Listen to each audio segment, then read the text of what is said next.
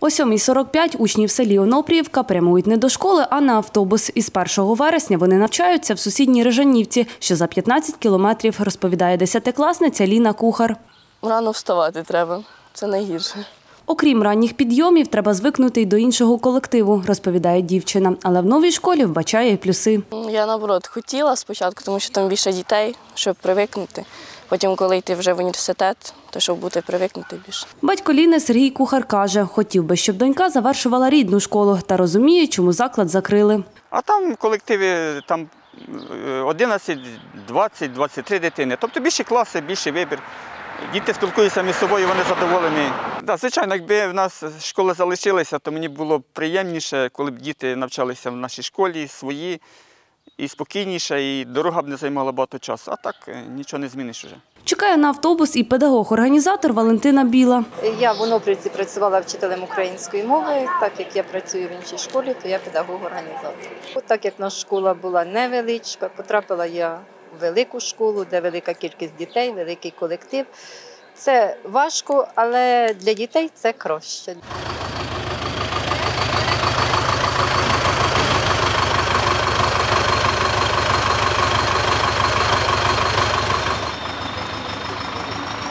В Онопріївці школа працювала до травня. Тепер тут діє лише дитсадок. Учнівські кабінети пустують, зауважує Людмила Шамота. Жінка тут навчалася, працювала директором та вчителькою математики. Уже в цьому році дітки не сіли за гарні нові парти, не прийшли у відремонтовані кабінети. Вакансій для неї в сусідній школі не знайшлося, каже пані Людмила. А до Звенигородки читального із села не курсує автобус. Немає на даний час роботи. Чекаю. Зараз стою зараз в статусі безробітньої на біржі праці. Чекаю, можливо, десь появиться якесь вакантне місце. За словами Людмили Шамоти, у 2018 році в школі навчалося 35 дітей, 2020-го лишилося 16. У сусідній Режанівці, куди тепер їздять діти, 172 школярів, розповідає її директор Вадим Мацюк. Заклад додає, забезпечений усім необхідним. Зараз з Онопрівки ходить 15 діток і 5 діток із Павлівки. Вони підвозяться шкільним автобусом.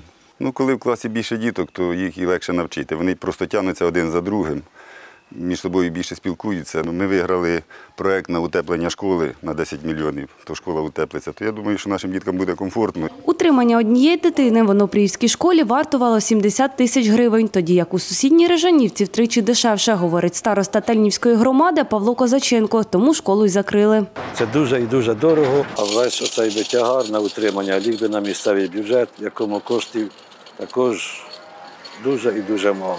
У 2020-2021 навчальному році на Черкащині закрили 16 шкіл та 82 понизили ступінь, зауважує очільник обласного управління освіти Валерій Данилевський. У 2019-2020 роках, до прикладу, оптимізували 43 заклади, 3 ліквідували та 36 понизили ступінь.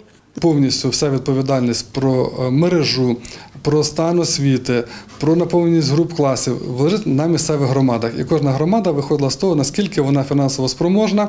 І по е, тому, скажімо, процесу, який відбувається, ми розуміємо, що основна хвиля оптимізації відбулася в цьому році. І в наступному році, е, за нашими прогнозами, це буде все значно поміркованіше. За словами Валерія Данилевського, врятувати малокомплектні школи може поліпшення демографічної ситуації та повернення молоді до села. Тетяна Недбайло, Максим Шевченко. Новини на Суспільному. Черкащина.